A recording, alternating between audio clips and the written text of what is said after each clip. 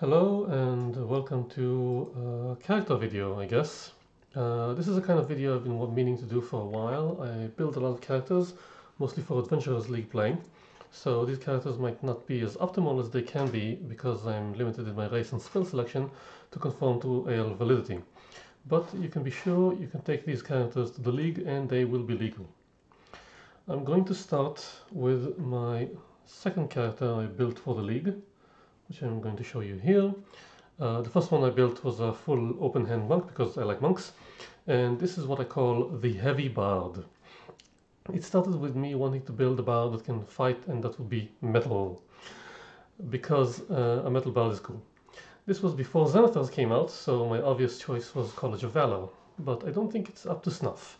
It's not very bardy, it's not very fightery and ends up being very mediocre. So I built it like this. Do note that uh, the character I built and played is currently level 8, but this is a plan all the way up to level 20. Uh, okay, we start with race selection. I'm gonna go with human because I want a feat. So human variant. Uh, yes. Going to go with uh, strength and, and charisma. I'll show you in a minute why. Actually, because it's based on strength and charisma. Uh, languages is just any language you want. Uh, doesn't really matter. Pick something. Uh, skills I prefer to go with insight. I usually choose my uh, uh, I'll show you how to do this but I usually leave my skill choice in this because it's more broad to the end. Feat I need is sentinel where is Sentinel? Sentinel. Because uh, this is a bard who wants to move forward and keep people locked in. Next thing I do is I go with abilities. Of course, you have to go with point buy or standard array for the league. So we go with 15 strength, 8 dexterity because we're going to go heavy, 14 con, as much hit points as we can get. No need for intelligence, is not very intelligent. A bit of wisdom, and 15 in charisma. And so we get 16 and 16 are most important attributes and 14 con, which is nice. Second, background. I choose to go with soldier because soldier gives athletic and intimidation, which is great for uh, a metal bard. And just pick any gaming set you want, it doesn't really matter. Uh,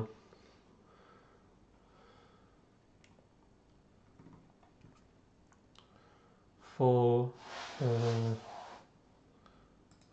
for race abilities, for class abilities, class, I start with Paladin, because then we get proficiency with all armor, all shields, simple weapons, martial weapons. We get a good uh, starting uh, hit points, uh, good physical and uh, uh, social skills, divine sense, lay on hands, which is very nice for healing. so Start with a bard, with a paladin.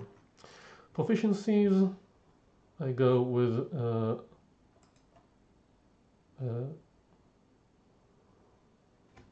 what did I go with? Um, persuasion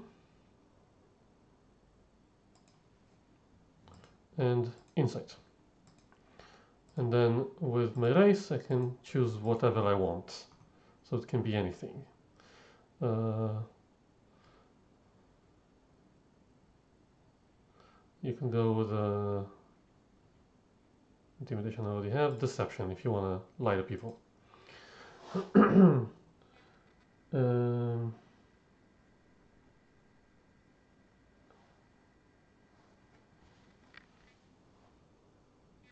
you can also, also went with animal handling because this is because you don't lie.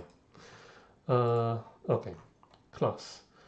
This is how we start uh, you get the standard equipment for uh, for a paladin, which is you want a martial weapon and a shield, preferably a long sword, and bow guard, 5 javelins you can attack in range, explorer pack is much better than a priest pack, and anything will do for, uh, for a holy symbol.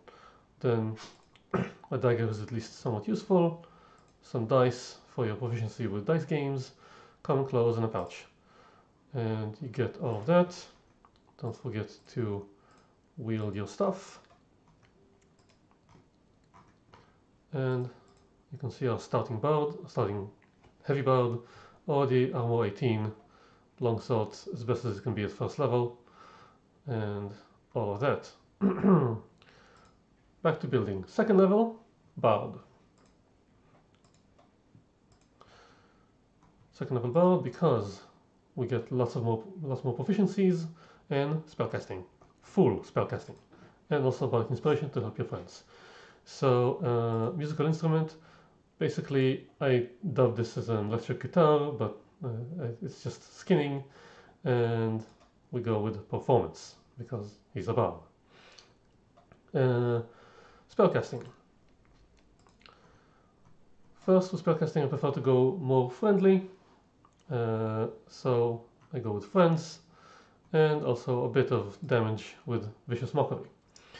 Then for helping in combat I use Faerie Fire and Healing Word to help your friends from range because they're probably not going to be as close to you.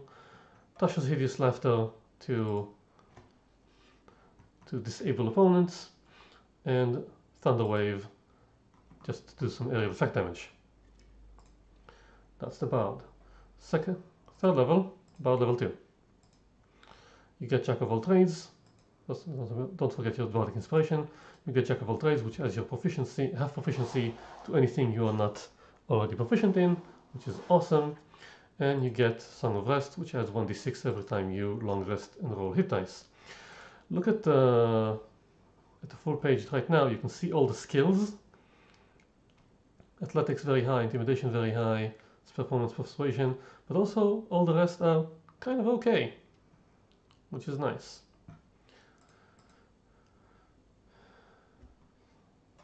Level 4, go with about level 3, because uh, Paladin at level 1 is still very efficient. We go with Bard College, Bard College of Valor, because they get the most spell power. Uh, no, not College of Valor, College of Lore, excuse me. You get bonus proficiencies, which I'm going to go with um, Arcana.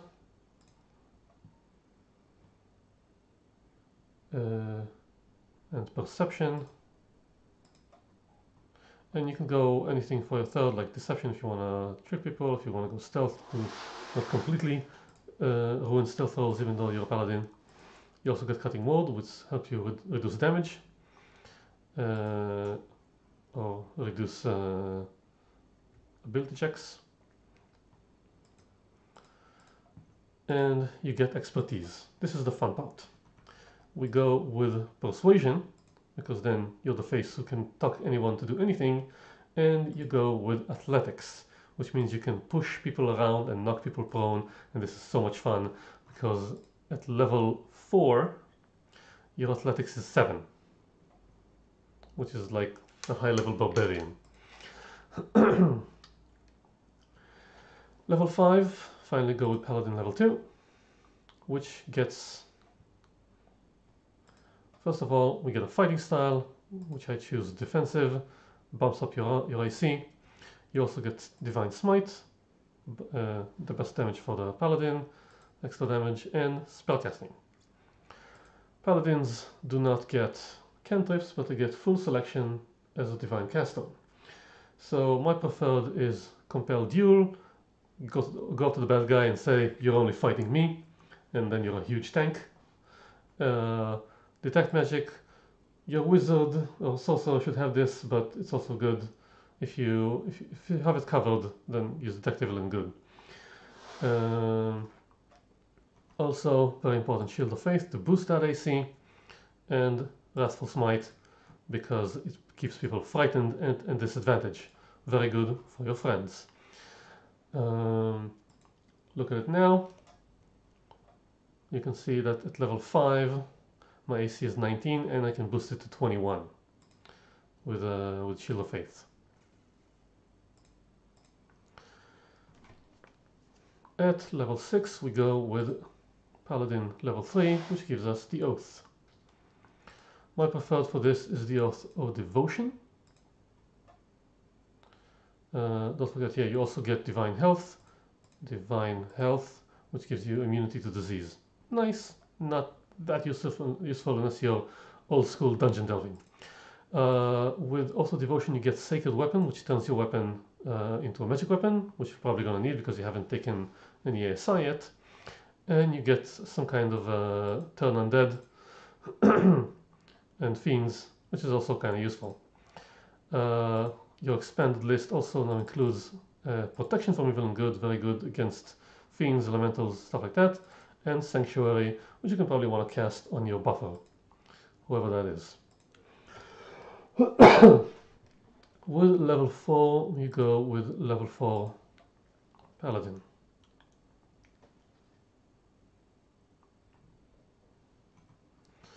Uh, at, at, this range, it doesn't really matter uh, which way you're going, unless you want to go first for strength or then for charisma. Uh, I choose to go with strength because you most go with charisma because uh, the purpose of the heavy bard is mostly to tank and buff. so we want spellcasting ability up to wazoo. Uh, then you can add more spells because you boosted charisma and you upped your uh, level for counting total spells. And I prefer to go with bless, which you can use to also buff your friends. and thunderous smite which is another kind of useful smite, which makes a lot of thunder damage and knocks people prone. Also useful for your friends. level 8 is, le is Bard level 4. With Bard level 4, you also get an ASI, which we also assign to Charisma. Now you're a spellcasting monster. as your charisma now is now 20. Uh, at this stage, there are several adventures you can do to get uh, Gauntlets of Ogre Power, which will boost your strength to something more useful. Uh, but if not, we'll take care of that later. Uh, with Bard level 4, you also get another cantrip, which I decided to go with Minor Illusion, very useful utility spell. You can use it to trick people, and with your persuasion and uh, or deception, you can really make it work. Um, also, for level spells, detect thoughts, very useful for interrogation, getting information out of, out of people, and cure wounds.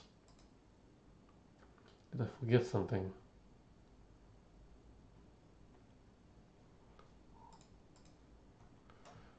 Uh, heat metal, also very useful.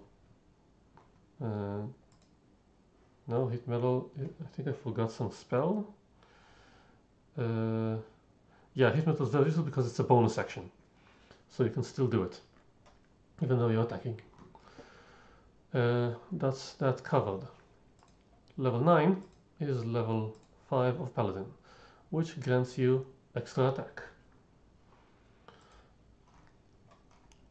Extra attack means you attack twice, and with spells, you get to select a new spell, which I went with a Branding Smite. Smites, always good. Uh, your magic weapon is usually unnecessary by now. You should have a magic weapon by now. And uh, the rest is less useful. And as as a as a as a paladin, you can reset every day. So this is just my preferred list. Uh, Find Steed you should just cast as needed. You don't really need to hold it prepared. Branding Smite is deals radiant damage and makes people visible, which uh, if you have an visible kind of enemy, this is useful. Uh, level 10, finally, Paladin level 6, grants us auras. Aura protection means you add charisma modifier to all saves for you and every creature within 10 feet. Uh, and you can pick another spell as you gained uh, an even level. I chose to go with locate object. When you're investigating, we need to find things useful. Now with aura and uh, plus 5 charisma, you're pretty much good for saves. And your uh, your proficiency bonus will increase two more times to boost this. This is insane. Um, with level 11, level 11, you go with Bard level 5. Bard level 5 grants you more spells. First of all, Font of Inspiration, which means you get your uh, Bardic Inspiration on a long rest and a short rest. Very good. And you can choose more spells. Basically another one. Uh, so I decided to uh,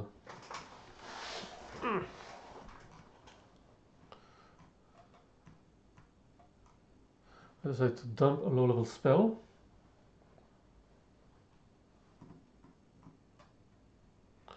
Uh, you can any low level spell um,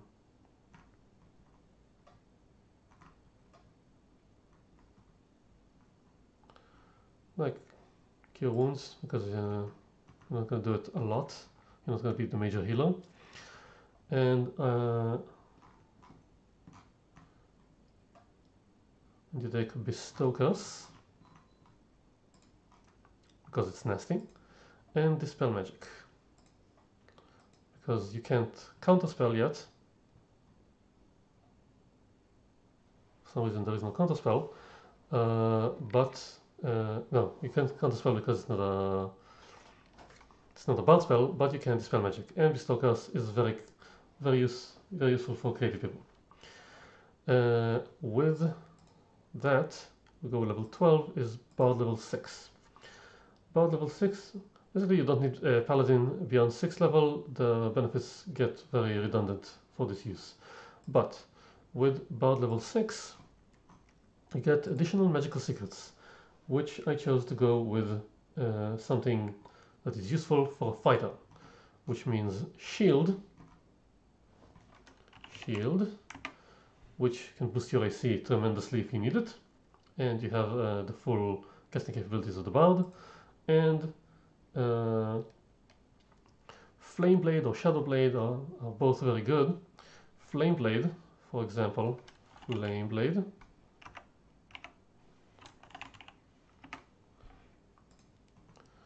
Uh, gives you 3d6 on a hit. Uh, it replaces your blade, but it, uh, it's 3d6 fire damage and it emits light, which is nice if you can see in the dark. Uh, Shadow Blade. Shadow Blade is similar, also useful. It's uh, 2d8 psychic damage. You can throw it, and you roll with advantage if you're in dim light or darkness. Whichever works for you, they're both good. Uh, level 7 of Bard will give us uh, first of all yeah in 6 you also get the counter charm which allows you to counter effects that give, uh, give you advantage and effects that give you frightened or charmed. Very nice. Uh, 7 gives you another spellcasting level. So it should give you another spellcasting level.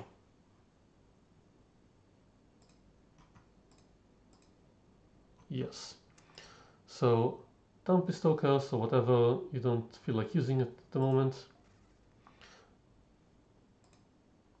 No wait, I don't need to. Uh, curse, we add greater invisibility and polymorph. Very versatile, very useful almost every time.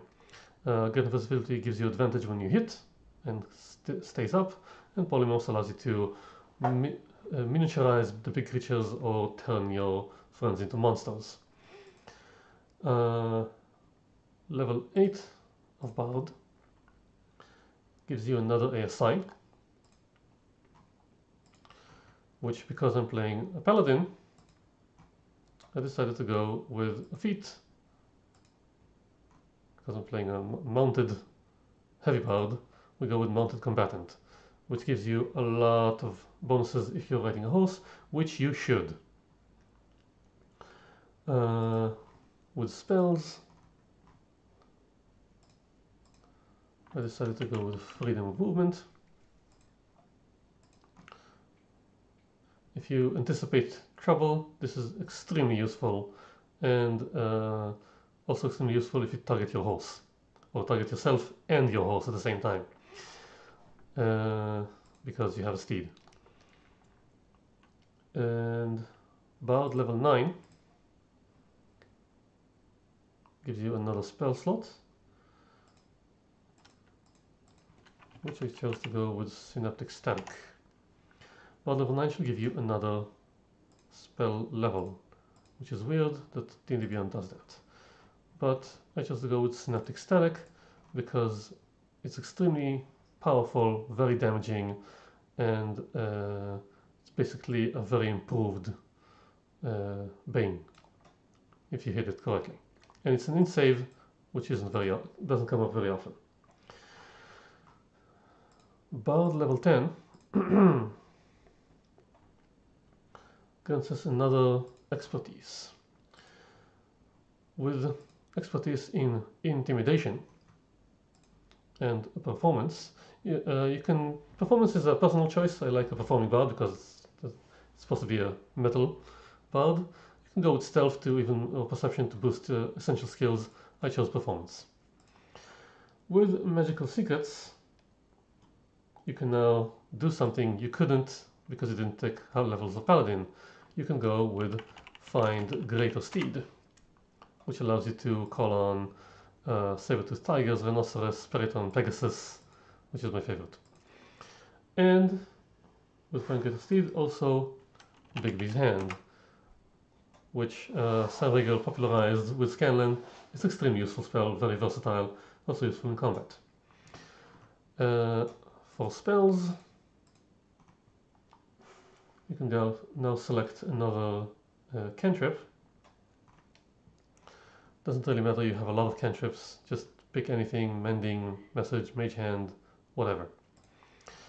And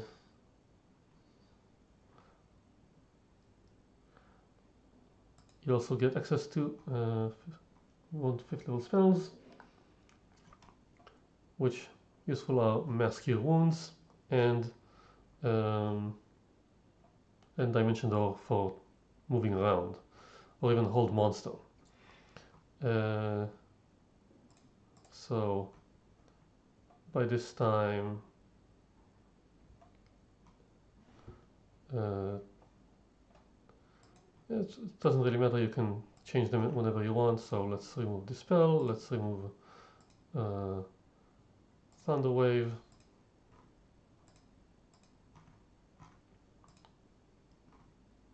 And go with hold monster and Mass Cure wounds which gives you a very good healing ability all around. Very useful.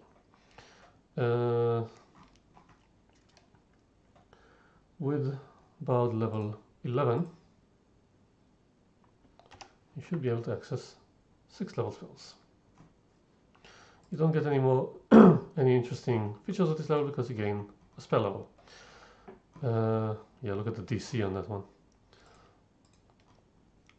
With a 6 level spell, I chose to go with True Seeing. When you can see anything in darkness by magic, uh, it doesn't even really matter that you're a human anymore. Um, with Bard level 12, we get another ASI which you can put into strength or con or whatever is appropriate at the moment.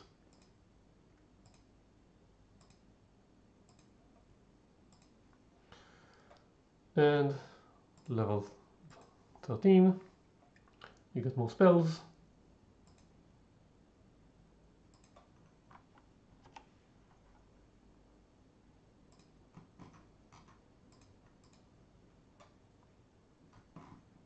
And for the 7th level spell, I just go with Mordenkainen Sword, because it's a lot of damage, it's force, and uh, it's basically uh, a kind of spiritual weapon, only more powerful.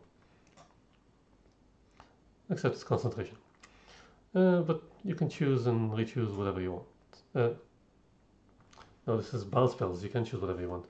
Uh, at this levels I haven't reached yet, so you can choose whatever fits the campaign or whatever you're playing. At 14th level, you get access to more magical secrets. My preferred for this is Destructive Wave, which is a very, very effective area of effect spell. 10d6 of various damage and knocking people prone. Very useful for heavy bard. And finally, Crown of Stars. Crown of Stars. Which is an incredible damage spell that you can just hold. And finally, you get a bit more spells. Uh, again, you can choose whatever you want. Greater Restoration, Force Cage, also I love, I love it. And animate objects, very, very useful. Uh, okay, let's look at our creation. Now that's a 20th level Paladin 6, Bard 14, Heavy Bard. 150 hit points, uh, 19 AC if you kept the original armor, which you should have gotten plate or gotten a magical plate by now. Uh, um, uh, my guy has armor to rival Tiamat by now. Uh, note that uh, Jack of all trades also affects initiative, so you have a plus 3, which boosts your initiative. Look at those saves. Skills are insane across the board, especially the useful ones like Persuasion, and uh, athletics you can pretty much knock anyone away and push them around and 20 charisma 18 strength a, list, a lot of list, a lot of useful spells which you have full casting capacity because you're a bard. Although you have no 8th and 9th level spells only upcasting uh, but still, spell attack is very high, modifier is very high. Um, at this uh, level, you should get uh magical ammo, maybe even a magical axe. Uh, I switched to the axe because it's a heavy heavy bard. He plays an axe, and I think that's about it. That's the heavy bard, as far as I can see it. Uh, hope you liked the video. And if you do, maybe I'll make some more of, it, more of them. Thank you for watching.